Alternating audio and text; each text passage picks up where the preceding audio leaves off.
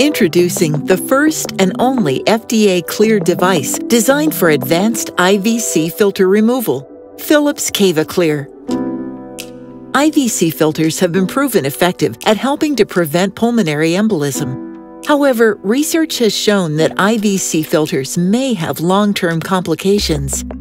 The FDA recommends that physicians consider removing retrievable IVC filters as soon as they are no longer indicated.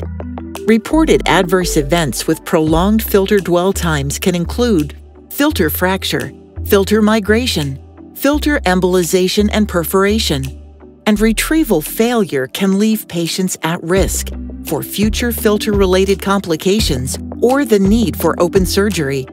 CavaClear transmits ultraviolet energy from a Philips excimer laser.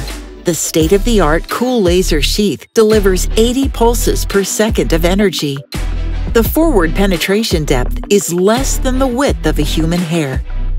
CavaClear is designed to safely and predictably ablate scar tissue 360 degrees around an embedded IVC filter, making removal precise and possible within seconds of laser activation.